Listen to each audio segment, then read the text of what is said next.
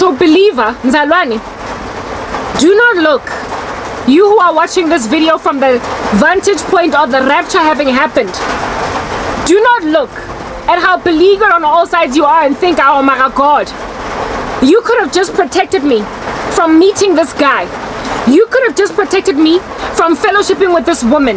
Like, yo, I have had people slide into my DMs, and after just five days. I have had people bewitch me basang Strangers. There's a chick that lived in my complex that I chatted with for five seconds in the clubhouse. And the next day, nasasang loile from Kishinyachach, Kamolor. That's how crazy South Africa is. They are like that ancient civilization in the movie Apocalypto. When I was working at MTN, I had a chick join the company. She was working there for just two weeks before she decided that my whole career must go.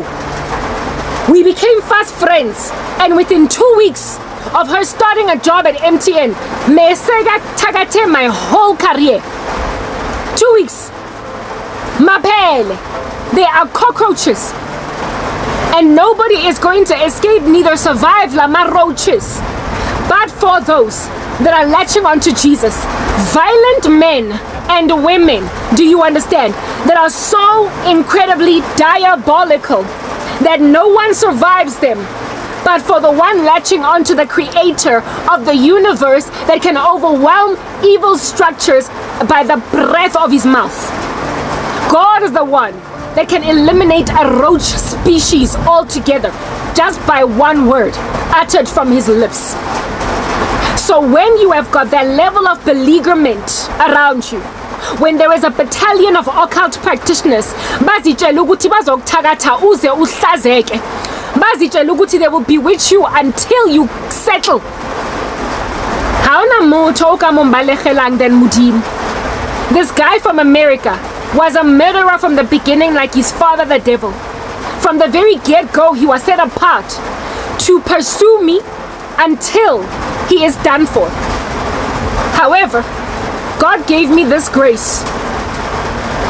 About a year into his reign of terror, he showed me this guy putting a gun in his mouth and pulling the trigger.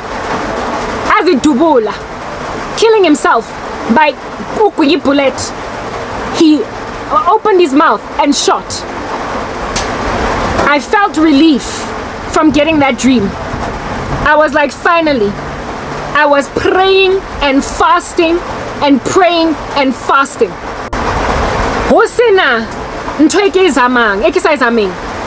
Just to get this tick, this cockroach, lenja off my skin, off my back. And eventually God gives me a dream a year and a half ago of him putting a bullet in his mouth. God.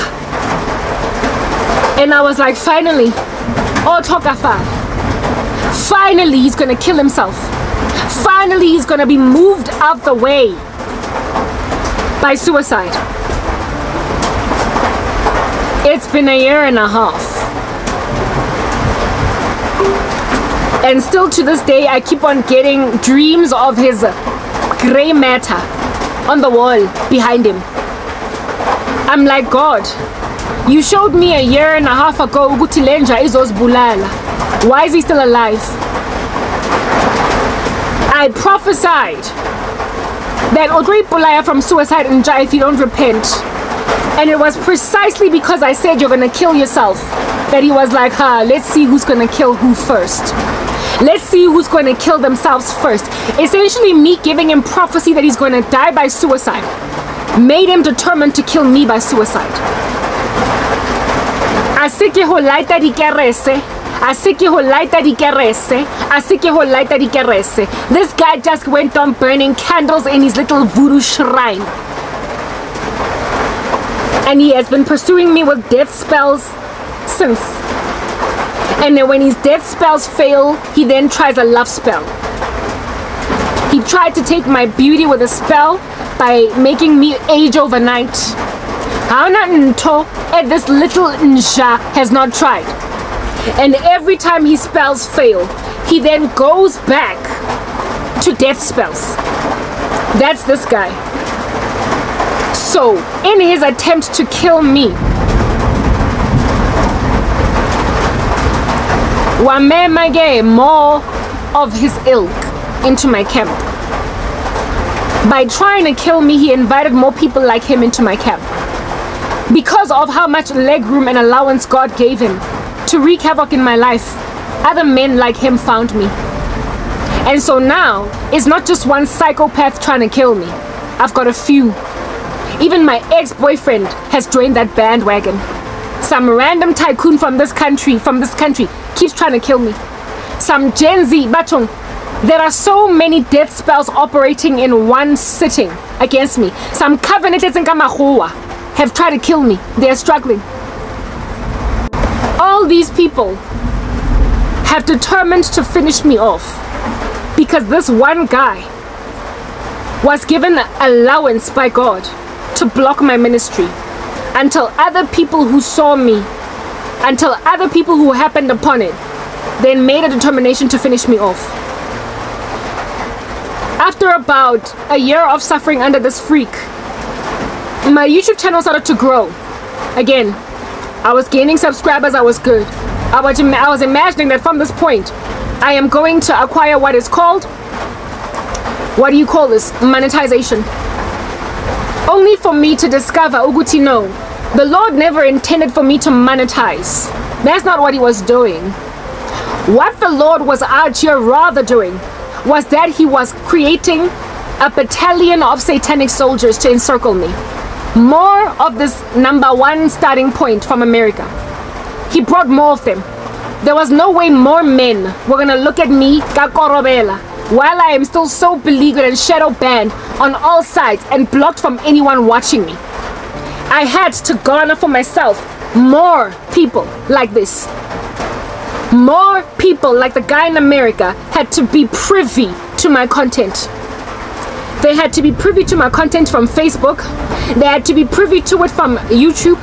And because I am sharing my story very transparently, exploitative, messianic, complex men and competitive women would then develop a beefy hatred against me. Women with a violent, voluptuous jealousy that would then make them determined to spite me by cursing everything that I say.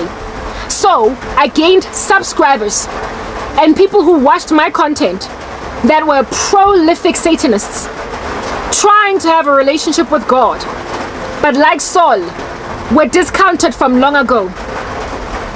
So upon being frustrated with not being spoken to by the prophet Samuel, automatically went and visited the witch at Endor.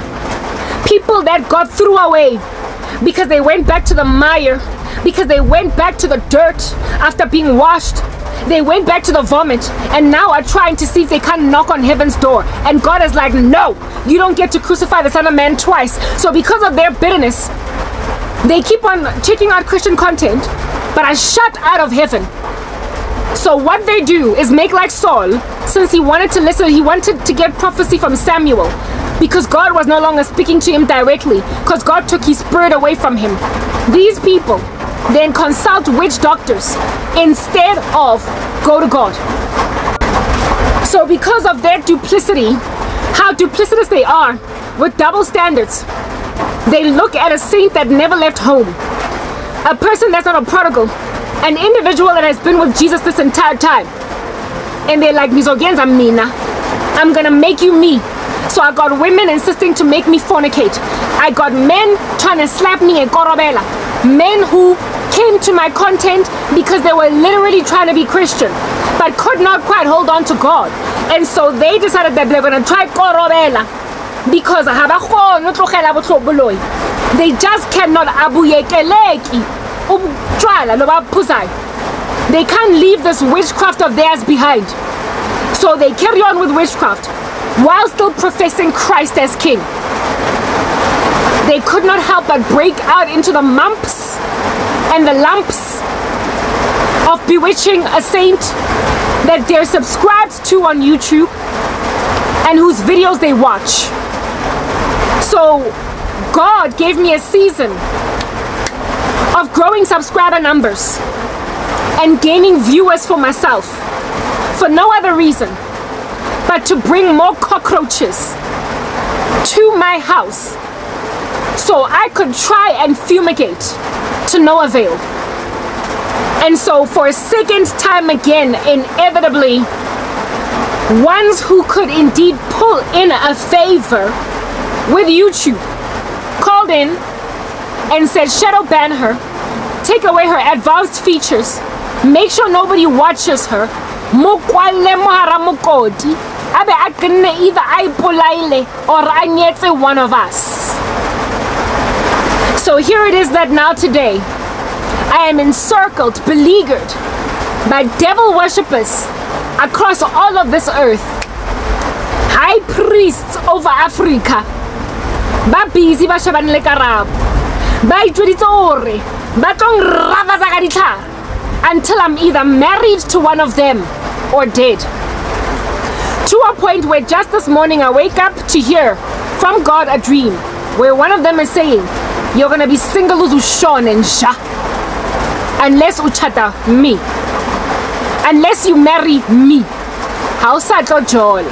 Yo kannete look at you being the wicked for the day of my trouble. These men have been presented me by God and the Lord has said have you considered my servant Garab? And they have said if only o youtube channel not a single donation for months. Let no one help her. Then o tla mmona i'm gonna slide into a dms and even though o tlo lora ke ka korobela o anyway because o tla etsang a they are telling themselves that there was even a spell that a lot of them did trying to get me or apologize. I imagine that. Trying to get me to apologize to them because of accusing them for witchcraft while they were innocent. I didn't apologize, I just kept on prophesying. I just kept on speaking the truth that God was showing me. And so now they're freaking super frustrated, and their frustration has made them invest in so much death rituals.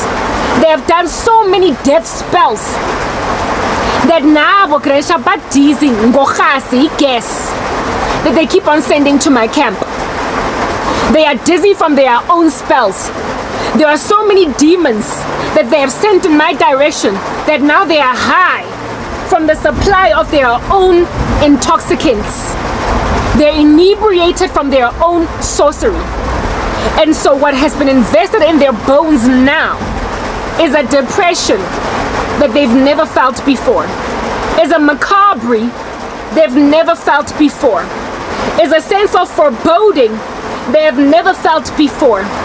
Is a melancholy they have never felt before because you don't get to dabble in this much witchcraft and not be made as forlorn as despaired spirits that will spend eternity in hell. You don't get to dabble with condemned spirits and not in and of yourself experience the despair of condemnation. So now they're more suicidal than me.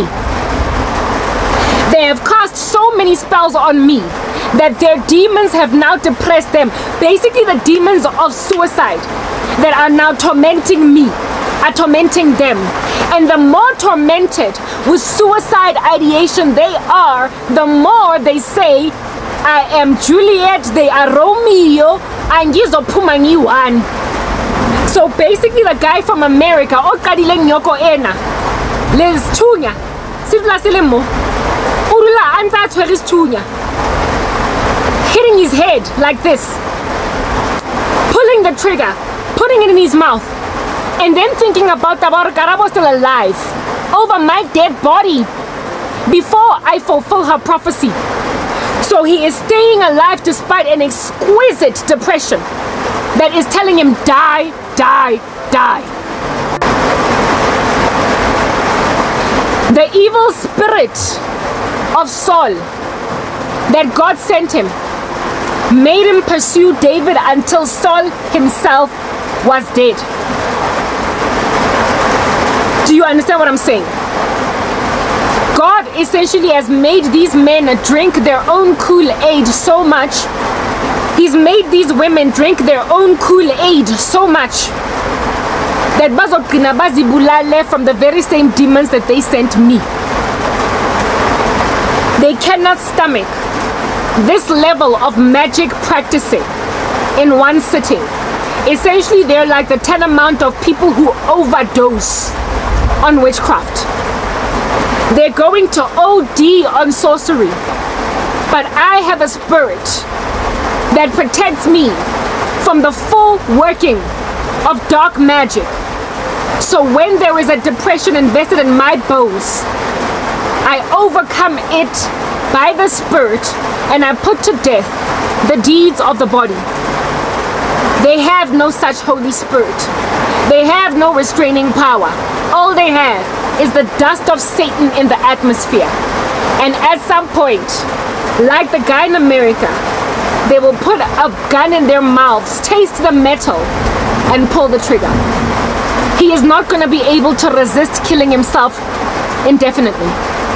He has been holding a gun to his temple, and then in his mouth, and then pacing his room, and then hitting his head, and then putting it down, and then going back to try and kill me again and then doing another love spell and then grabbing a gun the next day putting a bullet A1 in it and shooting and it missing him putting the gun down him putting it at his temple him looking at me with that gun while doing watching a YouTube video and threatening to shoot the screen he has been pacing with a loaded gun for months that he has not been able to unleash, but eventually he's going to unleash it. The Lord showed me a year and a half ago this guy finally swallowing a bullet. And it's been a year and a half since. And still to this day, what's up busy now? And he is not the only one. Now there are more of them piling on me. Kodwa, one after the other, after the other, after the other. Seeing as they have overdosed on witchcraft. The demons that they're trying to make me without thinking to just hang myself cause fra are gonna take them rather the very gallows that Mordecai set up for that Haman sorry set up for Mordecai to hang at these men are gonna hang at them themselves Haman hung at the very gallows that he set apart for Mordecai. The very suicide spells that these men keep sending me are going to turn around and do a U-turn and slap them. And as they kill themselves, I will gain relief. One after the other. But I will never gain so much relief that I will be free from striving because this striving is something I'm going to endure until the rapture. But I will given, I will be given, sorry, respite. I will be given relief. With every new one that dies, I will be given relief. It's not every one of them that are going to die from suicide. But at the date of every one of their deaths, they will be so depressed that they could commit it. But some of them are going to die, die because of drinking and driving. And the reason why they will have drunk themselves in, themselves to a stupor is because of listening to content like this, being scared it's true, knowing they're depressed, and so will turn to self-medication. They will turn to drugs. They will turn to snuffing lines of cocaine.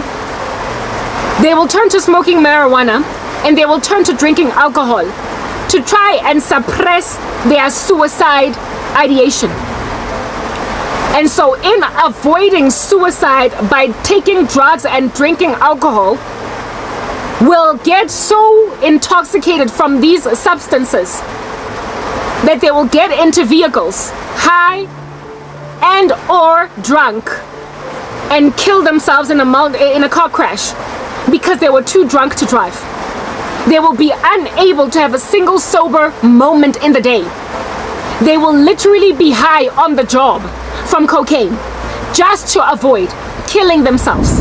And in being so high, will inevitably kill themselves by simply being unable to operate heavy machinery in the state, but nonetheless doing it, and so passing away from collateral damage of things like drinking and driving, walking and drinking and walking, drinking and talking, riding a bicycle and driving, and sorry, and, and drinking, talking to people, blah blah, rough, essentially rudeness, while drunk or while high. And these people will retaliate by grabbing a gun and shooting you out of road rage, punching you to death in a bar, where it is that you are rude to somebody there too. They're gonna get killed. They're going by people. They're going to get to die in accidents, in an intoxicated stupor, or they're going to make like the guy in America, unable to resist the devil until the gun that he has been putting in his mouth and putting down, putting in his mouth and putting down, will finally go in his mouth and he will shoot. They're gonna send themselves to hell, knowing that that's where they're going. And all the way up until they get there, they will not repent.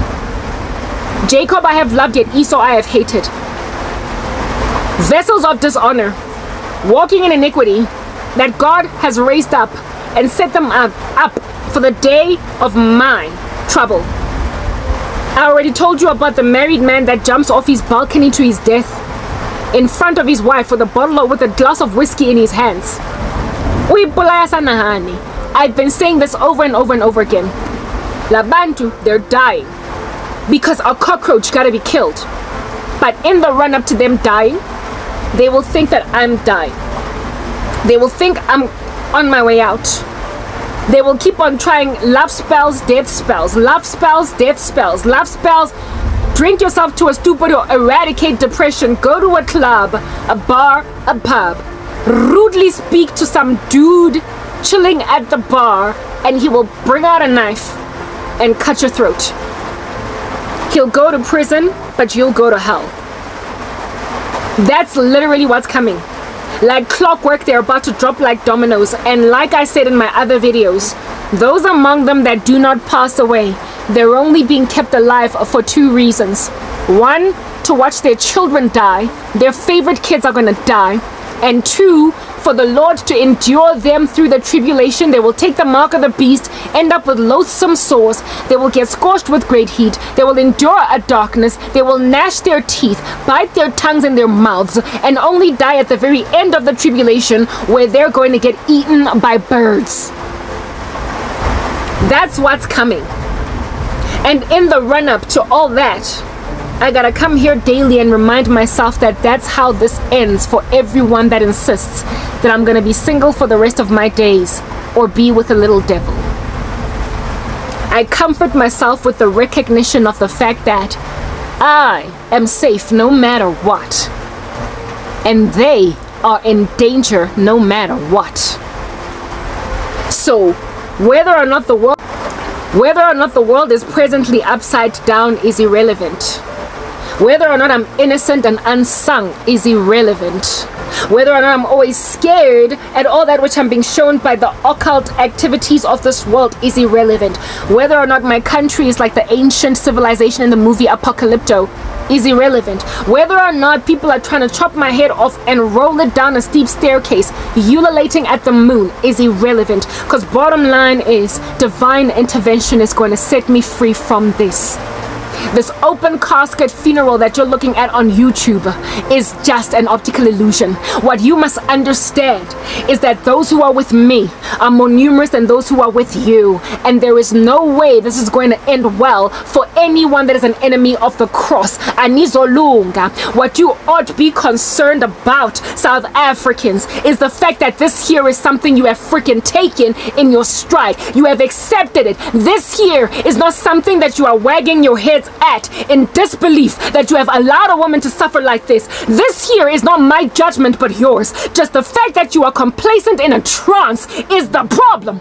Indaba yokuthi kunomuntu oshonayo phambi kwenu and aninandaba. That's the issue. That is the evidence of the fact that everything i am saying is true. That is evidence of the fact that we are in the last days. This is the great apostasy. Men have fallen away. They're lovers of themselves. Money boastful proud blasphemous disobedient to parents unthankful unholy abusers truth breakers. Having a form of godliness but denying the power thereof lovers of pleasure rather than lovers of god they are always learning, never coming to a knowledge of truth. You are incontinent. You are always sliding into the DMs of weak willed women, seeking to burden them with sins and passions. And you, on that day, therefore, ought not be taken seriously because you are like Jannes and Jambres. You cause people of God to fall away from the faith because you are like Hymenaeus and Philetus out here refuting the resurrection. You are a cankerworm, a palmer worm, a locust, a, um, a bunny worm, whatever is a chewing, gnawing away maggot and your attempt is to steal that which God is going to restore to his people. All the years that the locust, the palmer worm, the the, the, the, the, eating away worm, the cankerworm, whatever has eaten, God is going to restore. In the millennial reign of the Lord Jesus Christ, He's going to give it all back to us. But in the run up to, we will have appeared done for. We will have appeared ironed flat on the ground, unable to come up for air, steamrolled.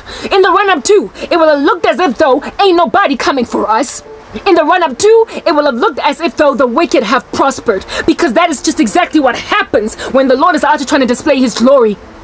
He will plague your lands and lay them desolate, destitute like ancient Egypt, only to set his people free, and for everybody to know, therefore, that he is the Lord. People will finally know that he is God, but not first before you look at your Egypt typology. Go sena running. A agilweng, a emeng.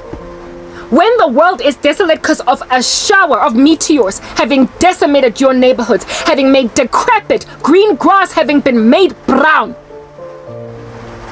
When the Lord has taken your world and lain it waste, and when the earth no more covers her slain, like it's written in Isaiah 26, literally the earth is no more going to cover her slain, meaning that the dead of the world are going to be strewn, cadavers, stenches of corpses are going to be uh, rising up your noses because you're going to be walking up and down communities, neighborhoods, with dead bodies everywhere, mortuaries overrun and hot because there's no electricity. So even they stink. There's not going to be funerals, burials, because there's going to be so many people dying all in one sitting. The horseman of the apocalypse that is on the pale horse is called Death, and Hades follows him, and they're given authority to kill a quarter of the human race. When two billion people are dying in one sitting, who in the world is Aja trying to put them in the ground? There's going to be too many of them. So Isaiah 26 gets fulfilled, where the earth will no more cover her slain. The earth will no longer bury dead bodies. That is your judgment. And yet you think today that you can put me in the ground at West Park Cemetery. Because that is just how poignantly you have determined when I'm going to die and where I'm going to be buried. You are out there trying to put me in the earth at West Park Cemetery. Whereas y'all are not even going to be given the decency of being inside the ground so you don't stink up all of Emmarentia. So you don't stink up all of Soweto as Avalon. So you don't stink up the whole of your neighborhood for simply being dead while letting maggots eat away at you and the stench of your putrefying gases in the body out here come up the nostrils of people. The earth will no more cover her slain. And you think I'm in trouble. You think I'm in danger. You think a woman that is facing death and a burial in a proper cemetery in the ground where you're not gonna stink up my corpse. Your noses, up your noses. You think I'm in danger when I'm facing a decent burial. Whereas all of y'all are gonna be strewn on the street with people jumping over you, maggots, flies all over the show, dogs, carrions. Your carrions are gonna be on the floor being consumed by hyena, scavengers, wildlife, birds of prey. That not of prey sorry but birds scavenger animals beasts like hyenas and um vultures eating away at your carry-ons. Literally the movie Jumanji is going to be fulfilled in your lives where there will also be a stampede of wildlife in your inner cities. Right now they're chilling behind fences at the Kruger National Park. Right now they're staying largely in the wilderness because they tend to avoid human traffic Our footsteps freak them out. But now they're going to stampede in your cities. Because God is going to send beasts and wildlife to literally have a field day with you. In your inner city, you are going to get killed by wildlife. The rider on the pale horse is going to kill you with wild beasts. So literally lions are going to come out from where they're chilling in the wilderness and they're going to populate suburbia and inner cities and have you for breakfast and you think I'm in trouble. You think I'm in trouble. That time is coming. There is no way it is not South Africa. Do you understand? Because you are that ancient civilization in the movie Apocalypto. You are priding yourselves in the death of people. You are into freaking contact sports. You are right back to the days of Nero where you are watching Christians be mauled away by lions in the Colosseum. You are watching people in the Hunger Games, the cabin in the woods, you are watching people in the Squid Game literally as the elite who are out here fighting for their lives. You are watching people be in what it is the tenement of kill or be killed. You are watching ravenous souls out here kill each other for sport. I am going to survive, so I'm going to take away your wealth that I might live. You are spectators at a barbarian Olympics.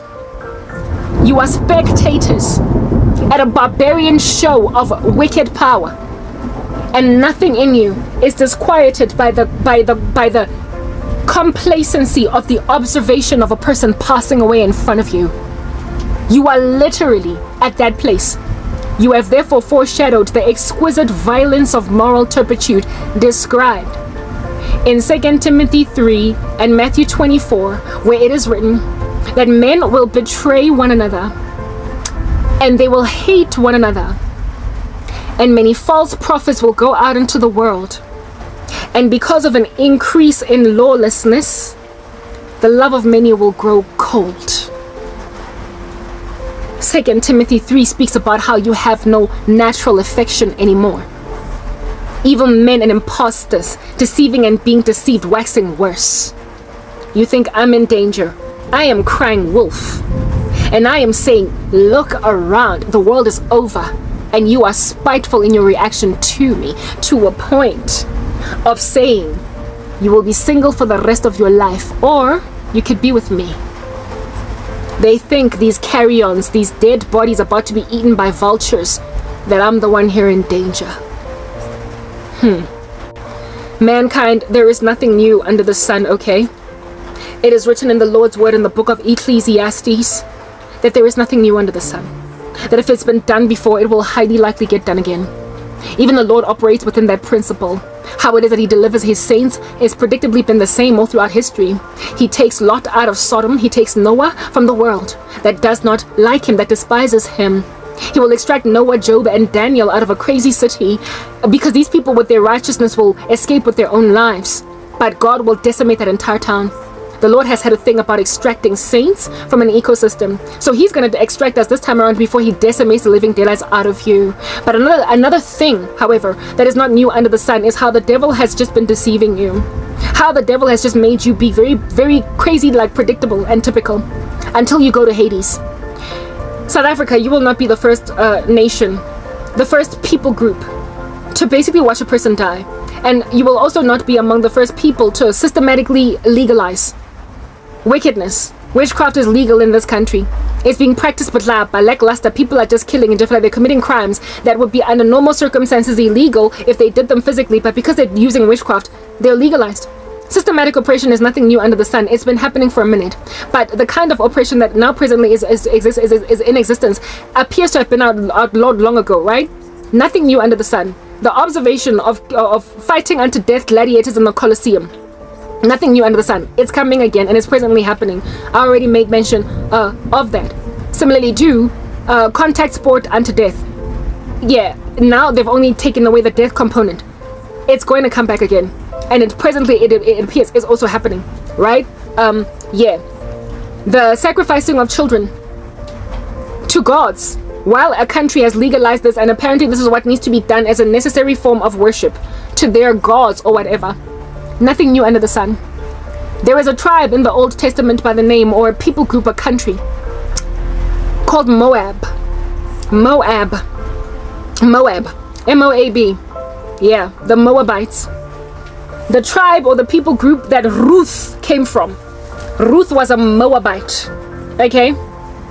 The Moabites had a false god, a fallen angel, a principality chilling over their country called Chemosh. Go read that in the Bible. Chemosh was a demon god, of course, or rather, let's call it a fallen angel god. And I mean, the devil absolutely adores blood, right?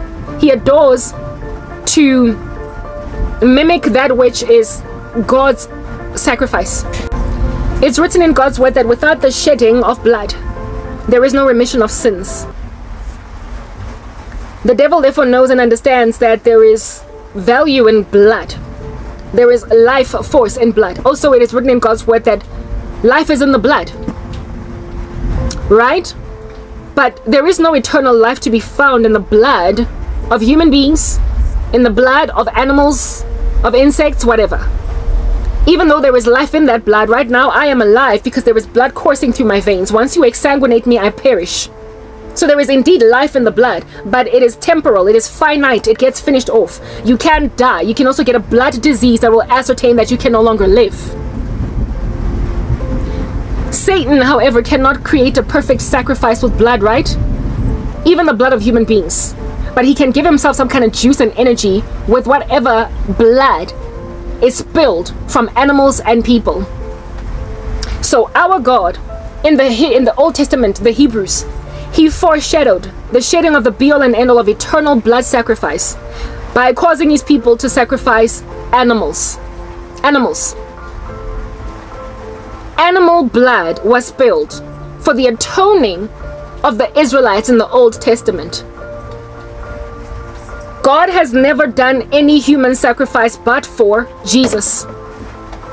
And there was a foreshadowing of this human sacrifice that was stayed, however, in the Old Testament in the story of Abraham and Isaac.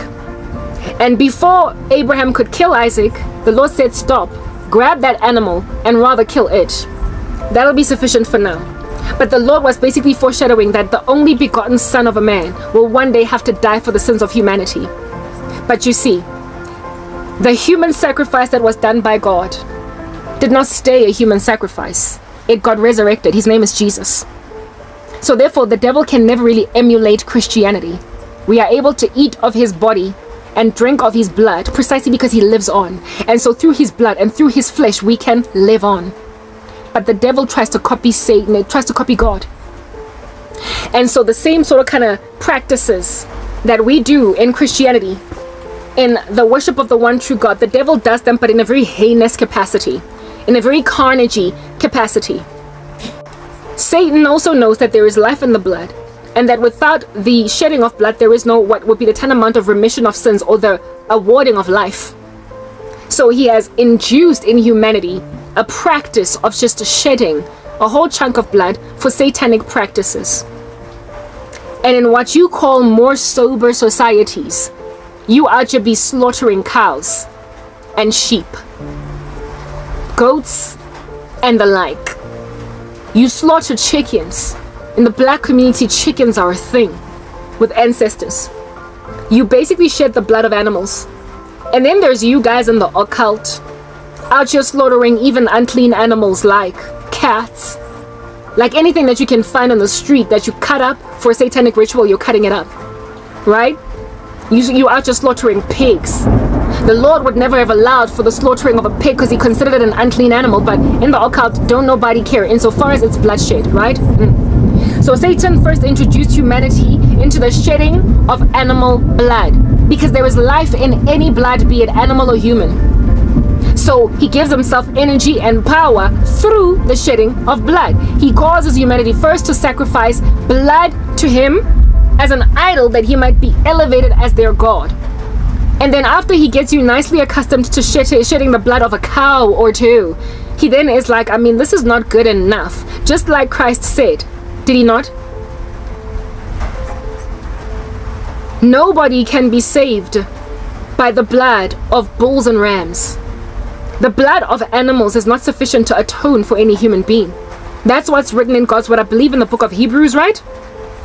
but I stand corrected. I actually could be Romans or I don't know what, like somewhere in the Bible.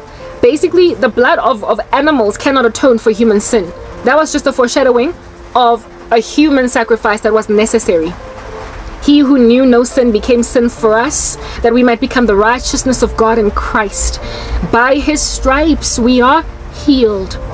He became he who had no sin, like I said that already, but he was tempted in every way and yet did not sin. The Lord is called a holy and an acceptable sacrifice. He is the Lamb who was slain from before the foundations of the world. Christ was God, fully God and fully man. Because he was fully man, he was able to atone for the sins of man. And because he was fully God, he was therefore without sin. And so therefore his death would have been unjust if at all it did not substitute for the deadness of the human race. Therefore, the holy and perfect sacrifice was Christ. And because Christ is eternal, he was able to be resurrected because there is no finality to how many human beings he can atone for, including himself getting resurrected. He got resurrected because there is not a finality to God. There is no beginning to Jesus and there is no end. Meaning, therefore, that there aren't too many people that could ever enter into the fold of God that then make basically the atonement that he did at the cross reach its height. Like they, they, they, you, you can't have. We've reached now 50,000 people, so we can't get more saints in. We've reached now 10 million people, so we can't get more saints in. Why? Because God is eternal. There is no finite number of how many souls he can redeem with his blood because he is God eternal, past and God eternal future. And his righteousness is therefore successfully imputed on all of us who embrace his name. Because without confession and repentance, there is no remission of such sins as these. You have to actually seek that forgiveness out. So, given that there is no, uh, no, no given that it's in, infinite, his ability to atone, it's frankly a waste of that atonement when you don't embrace him. That's why it's written in God's word, who neglects so great a salvation? Because he can atone for every last sinner ever been born on the earth. And yet, humanity rejects him. And yet, strangely, the road that is narrow that leads to life, only few people find it. Yet, only a remnant gets saved, even of the elect Jews. It's always just a small number of people that embrace this great, eternal, and infinite propitiation. Jesus was a human being and God at the same time. So, I mean, seeing as Satan can never find an equivalent to Christ, he then finds an equivalent in those made in his in, in, in his image.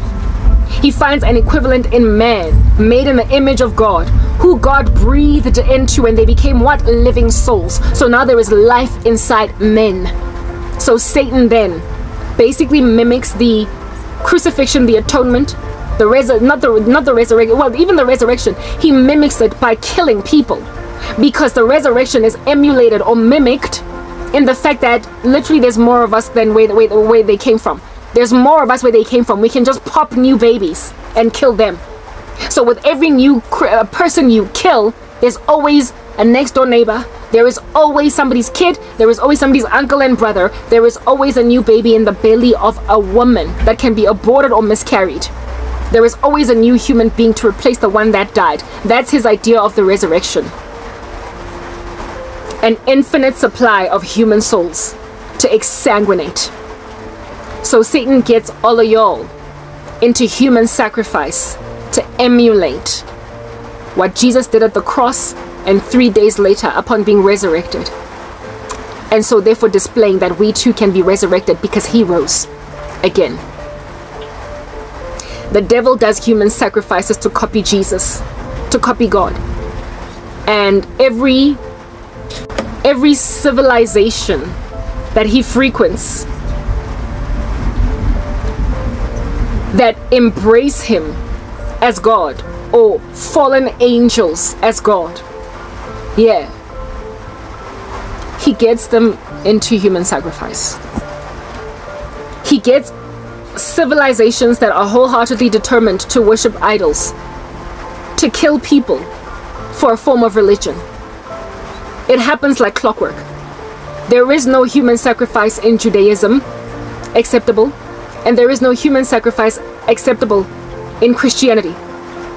And yet, the amount of human sacrifice you find even in Islam through what they call jihad, and also the amount of human sacrifice that you find in other ancient religions like Eastern mysticism, whatever you might find. The amount of human sacrifice in ancient Egypt The amount of human sacrifice and cults that tell themselves kill yourselves and find yourselves in like some kind of nirvana or in some kind of like paradise later is exorbitant. Every time the devil gets into people's heads, he makes them kill people. He makes them kill people. And this ancient civilization called Moab, their god Chemosh, which is nothing but a fallen angel, insisted that they sacrifice humans. And you see, the more pure this blood is, the better. Because Christ was who? A man who knew no sin. But then he became sin for us, that we may become the righteousness of God in Jesus Christ. So basically, the more sinless the human being, the better. It is the reason why child sacrifice is so prevalent also in these societies. They love abortions and miscarriages and they also adore the killing of infants like newborn babies so infanticide never mind that but also like toddlers preteens just children. And Chemosh insisted upon children going through the fire. This god of Moab insisted that the Moabites, in order for them to not be met with misfortune and to have riches and wealth and health, they need to sacrifice their children, make them go through the fire. These practices were legal in these civilizations. It would be what is called systematic oppression. It would be the tantamount of a whole bunch of Romans watching gladiators fight unto death in the Colosseum barbarism being observed, but because it's legal, nobody is calling it out for what it is. So here it is that we've got a systematic oppressive regime called the Moabite Kingdom. Out here killing kids, putting them through the fire, because that's what is needed in order to basically get the perfect atonement for the Moabites' issues. And the Lord condemned these societies, He shunned them, he turned his face from them and admonished his people, the Hebrews, to never partake in the practices of the nations surrounding them. It's raining outside and you are not going to be okay. Yaneta. I can say wa batla ka montle go nna pula ha kana. Mm. No, you're not going outside. I mean seriously, like listen to the, that thunderstorm. You are not going. I'm not letting you go. Anyway, whatever. You can scratch over there until kingdom come. I'm not letting you go. Yeah. That's what under heaven it is that happened. No, no, no, no, no. No, no. No. No. No. Sorry. Whatever. I could say, being all disquieted by what needs to happen by, by, by the, the, by the weather. And yet funupuma like to lay all the wicked around my life. Like you're not gonna get what you want. Anyway whatever. Uh, so these these are moabites in this like cave mentality of a crazy like barbaric society. But then god always admonished his people don't partake in the practices of these barbarians because it's not of me I don't approve. It's literally that basic. So I mean those of you who call yourselves Christians and you're always latching onto Bibles underneath your armpits and yet you do human sacrifice rituals or you put a person in a position to die you impoverish the living daylights out of them take away their career make sure they don't breathe they don't come up for air until is so obviously at the precipice of suicide that she could die. You're freaking Moab you are Moab. You are putting your children through the fire. You are sacrificing human beings so you can be okay. You feel as if though to atone for your life's wacko general demeanor, you gotta go and spill the blood of Karabo. You gotta go and, sp and spill, the, you gotta basically commit an abortion against your own body. You gotta go and, um, what is this? Commit abortions in people's bodies. Make sure that the sanctity of human life is thrown out the window. Nobody is doing anything sober and rational. And in this crazy, groupthink, this tribal mentality that you are all incarcerated by. This tribal mentality that you are all incarcerated by is strangely not being recovered from, like you're not healing. You are not healing from this tribal mentality. Because when you look left, everyone approves. When you look right, everyone approves. And everybody that is essentially kind of cray cray, that does not disprove of this behavior, you feel safe because of them. You feel ensconced and protected by the concerted mallard malarkey of everybody. You feel protected by the fact that on the left and on the right of you, Wonkomuntu seems to be doing this thing. And the sad and disquieting thing about groupthink is that the road is narrow that leads to life, and few there be that find it. Essentially, there is no safety in numbers. So when you tribe along, trudging through a forest with a bunch of gangsters just laying waste entire communities. Honey, just because people are scared of you and they're timid, and just because there are 20,000 of you versus a community of five people, does not mean you're okay. When you are a terrorist, you are a terrorist, you are a terrorist. When you are a murderer, you're a murderer, you're a murderer. When you're a thief, you're a thief, you're a thief. And whether or not your country has legalized theft, terror, and murder is irrelevant. Bottom line is, you have a responsibility to recognize that your systematic oppression in your land is evil. Just in the same way that in the days of slavery, there are some white people that woke up and said, This is wrong. Just in the same way that in the days of apartheid, there were sober minds that recognized belonging to what is this uh, benefited groups like white people. They said apartheid is wrong. So whether or not you are supported by the majority, whether or not you belong to the camp of people that are protected by a systematically oppressive regime, you are without excuse when you maintain that status quo because of the fact that there are people among you who get attacked by consciences and so therefore break away from Babylon. They break away from Moab. They break away from the apartheid sentiment and they say, set the black people free, set the Indians free, set the colors free, because we can't freaking live in a country so segregationist. If there was a white person at all with an attack of conscience in the days of apartheid, you are without excuse to be benefited by an occult rich, occult crazy country that has legalized crimes insofar as they're being done in the occult. Just because South Africa is not outlawing your crazy does not mean you're okay. You have a responsibility in your unique capacity, we won, to realize you live in Moab and like Ruth, join Naomi to be with Naomi's people instead of continuing in a circus. Ruth was a Moabite that broke away from Moab. You have to make like Ruth and leave Moab. Even though Moab has benefited you in crazy. Even if your country has left you to fester being a cockroach, you have an incentive to become a person already. Unzo lawyer left and right with South Africa letting you do what you want. You've decimated the country's economy. But now, you're being encouraged to be freaking normal. Because this is abnormal.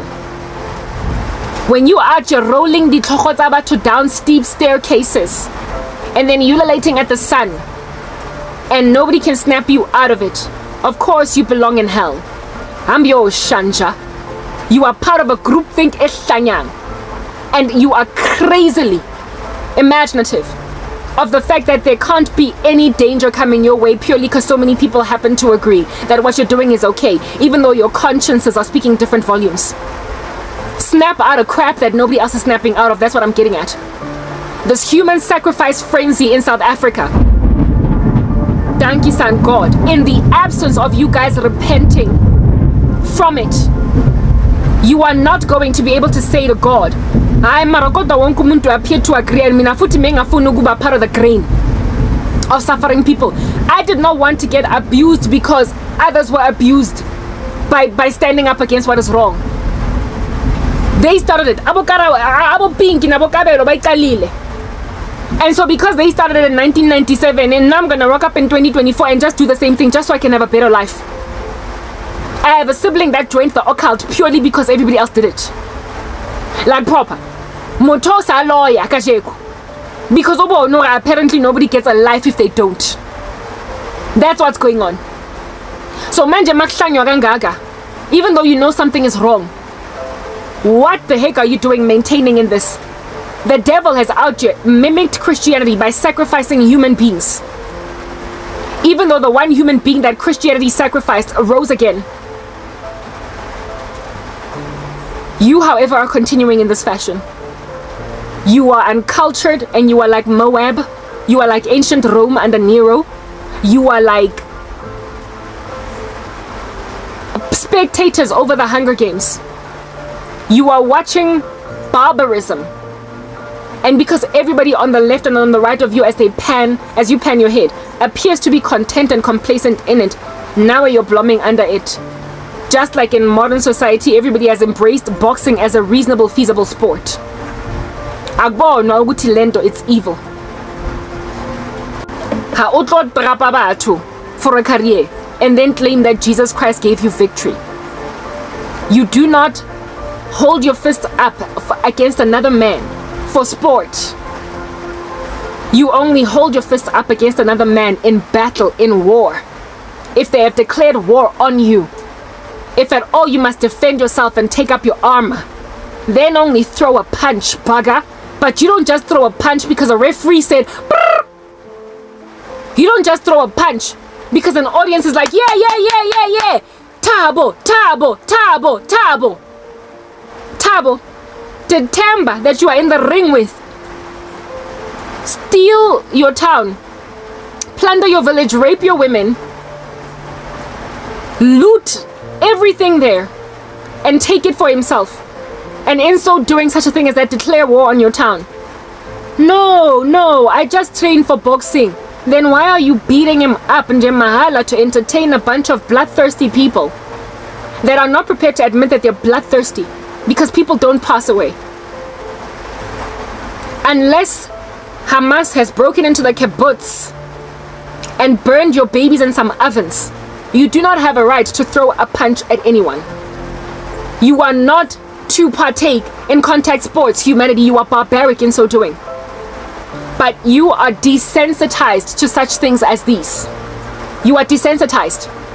You are desensitized. I don't know how many people who have come to Christ, having been boxers historically, confessed that when they were doing boxing, they leaned on demons to give them superpower so they can beat people up. And so confess that boxing is just freaking evil. Wrestling is evil.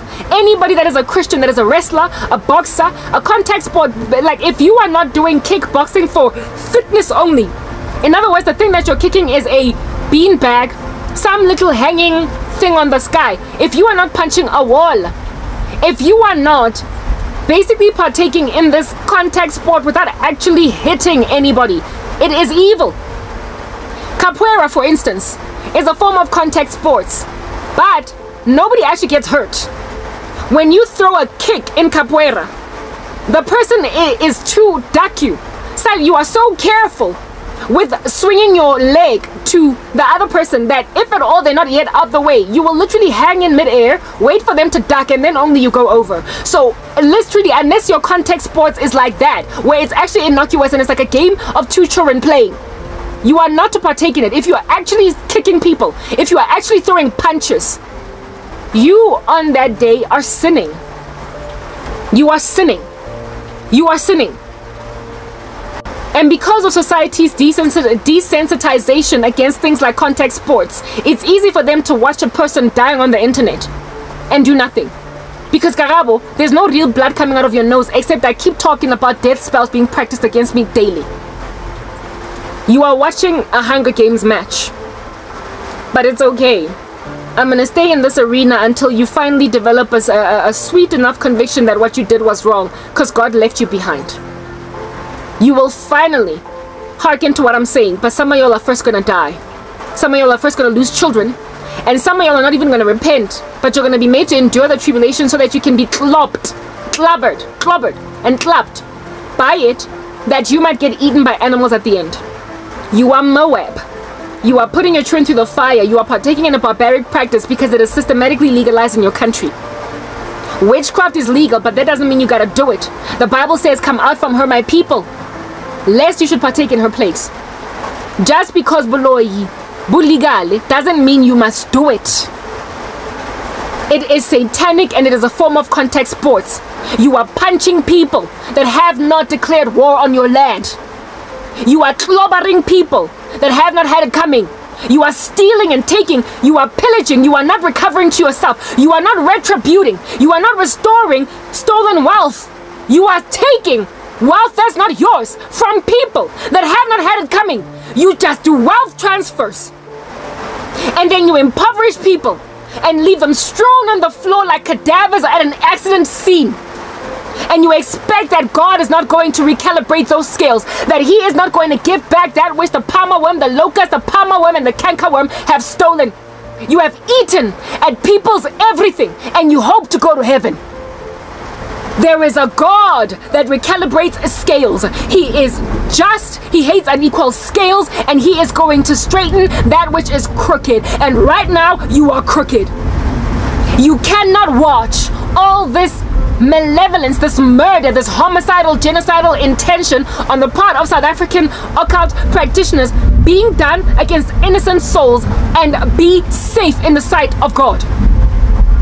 You are either a mutineer against the body of Christ and everyone that is a victim by omission or by commission. You are either doing nothing at all to eradicate the circumstance or you are an active participant, an active mutineer in the an active participant in the mutiny, mutiny against people's lives.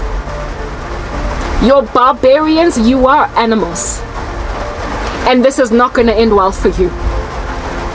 So, I will say this again whether or not you are of the imagination that you got me and you've pounced on me sufficiently enough to make me a 45 year old spinster, never mind a 40 year old spinster, that is going to die single, absent of me embracing your devil worship, is irrelevant. It doesn't matter that you just so happen to think I'm in your clutch or your grasp or your control. What's rather important is that I am not. What's imperative here is to gauge rather the facts instead of the supposition, instead of the recommendation, instead of the presupposition, instead of the assumption, and instead of the presumption, instead of that which is concocted imaginations, arguments essentially, yeah, that I could very easily by the Holy Spirit demolish and every lofty pretension that exalts itself above the Most High, and hold into captivity every thought to the obedience of Jesus Christ. It does not matter that you have presumed a thing. All that matters is, is what is rather fact. All that matters is that what is rather true. What is rather reality? What is veracious? What is the information that we are running home with at present? What is the truth? That's all that matters. Not what is fabricated, not, not what is fantasy, not what is a very believable phantom. Not that which is a dizzying spell that can make you believe a lie or a mirage. It is not about the optical illusion, but the reality. And the reality, and the reality is that Jesus Christ is Lord. The reality is that if he be for me, can nobody be against me.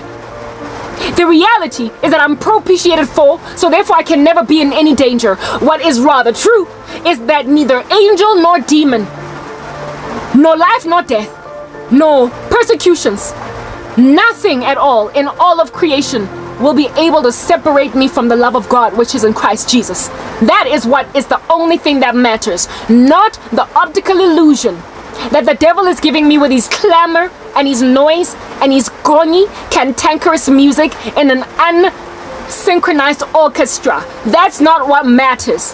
What matters is the still quiet voice of God that is the fact.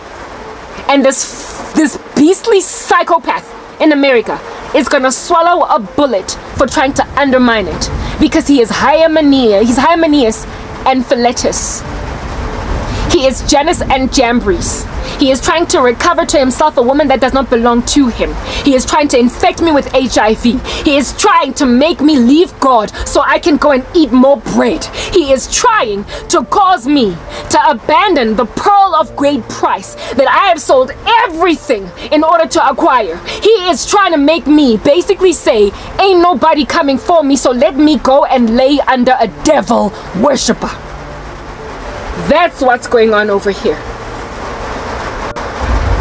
So all the best intimidating me into obscurity, saying I'm gonna stay single for my days, taking for granted the fact that I actually am kind of scared that that could be a thing. I am nervous that I will never marry and that this world is going to continue for another 20 years. I am scared that I'll never be able to use my eggs and that this earth is going to continue for another 50 years. I am out of my mind sorry for myself that I may very potentially be unemployed for the rest of my life while this earth continues for another 50 days. But that presupposition and that assumption and that presumption and that phantom, that fantasy, that idle thought is irrelevant because what's true is that I am going to be caught up to meet the Lord in the air after the dead in Christ rise first. I am going to be caught up at the River Jordan, and that even though I might be like Naaman, after walking these streets as a king, but having leprosy, I will be dunked in the River Jordan for seven years, and I will come back looking like a baby, and on that day you will embrace me as your queen. What matters are the facts, and not the vain philosophies and the phantoms and the wild imaginations that God said I must demolish. All that matters is the truth and not what makes me scared, not the thing that goes bump in the night. All that matters is Jesus.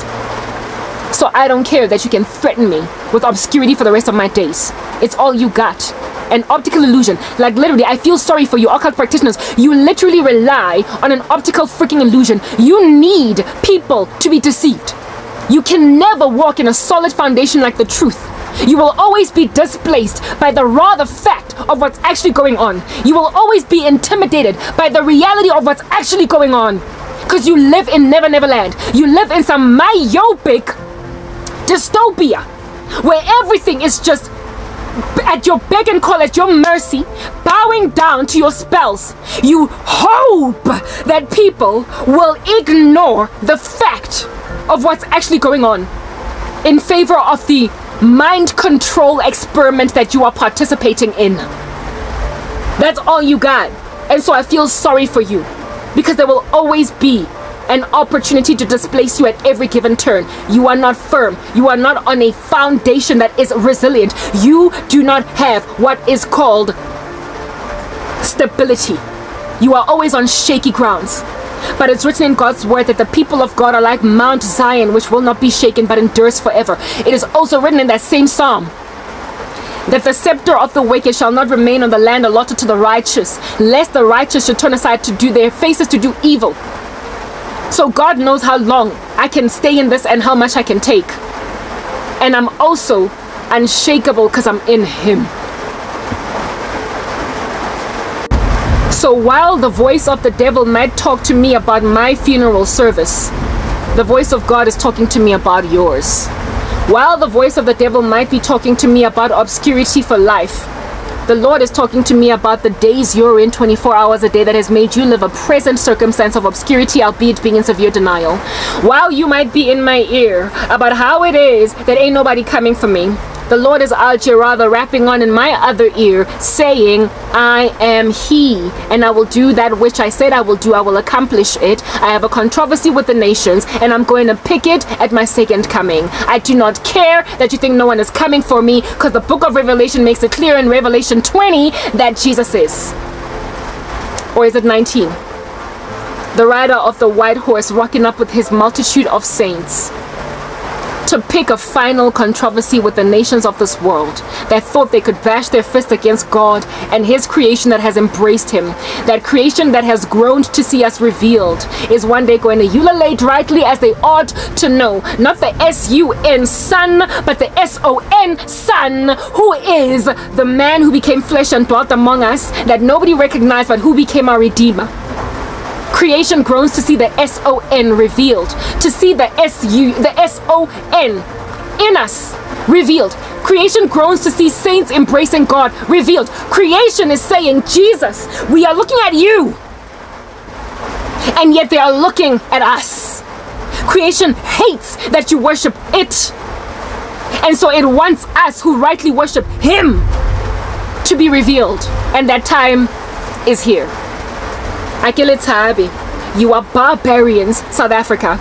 You have lain your whole country destitute. And in the tribulation at the beginning of it, you are going to be shunned and humiliated for doing this to me. Because all this work that I do and how powerful, pregnant, and extremely reaching I am would have rescued people from enduring the tribulation if you had let me go. It's written in Luke 21 that always pray that you may be counted worthy to escape the things which are coming on the earth. My message is so telling and so reaching that people would have repented and therefore escaped the things which are coming on the earth. They would have been able to go in the chambers and essentially deal with God pouring out his indignation until it has passed on the earth. People would have entered the ark because of my message, but you blocked them from listening to me. You blocked them.